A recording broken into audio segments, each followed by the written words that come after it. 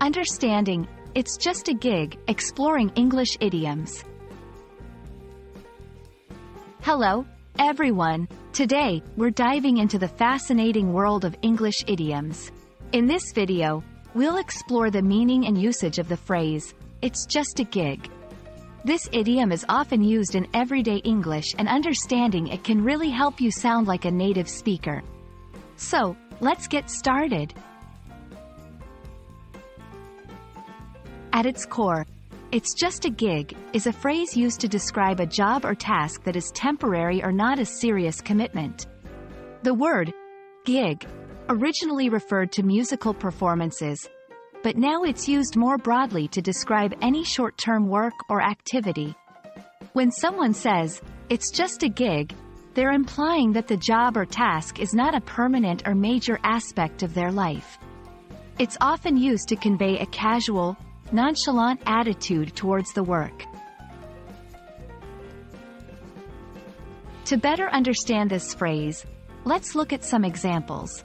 1. In a casual conversation, I'm working as a barista these days, but it's just a gig until I find a full-time job. 2. In the creative industry, I'm playing at a local club tonight. It's just a gig, but I'm excited about it. 3. Among friends, I heard you're tutoring on weekends now? Yeah, it's just a gig to earn some extra cash. These examples show how the phrase can be used in various contexts to indicate that the work is temporary or not a major commitment.